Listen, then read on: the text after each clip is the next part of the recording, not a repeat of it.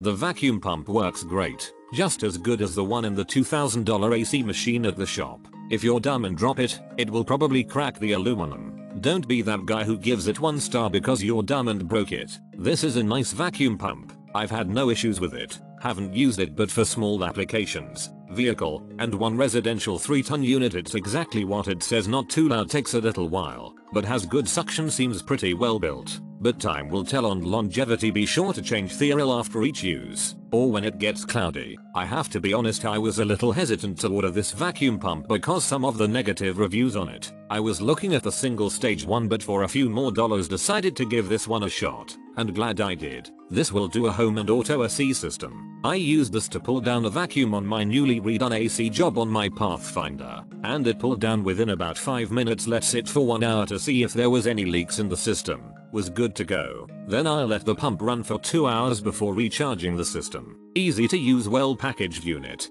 Came with oil and easy to follow directions. Would recommend this unit. Used to install my AC compressor on my Jeep Liberty. Worked well and a good value over expensive units offered by other companies. So far so good I'm new to HVAC system work Jut I've been a general contractor for 20 years. Had a project with 6 mini splits so I decided to vac them myself 3 down and so far so good. It'll be another no till the other 3 are ready, but the pump seems to work just fine.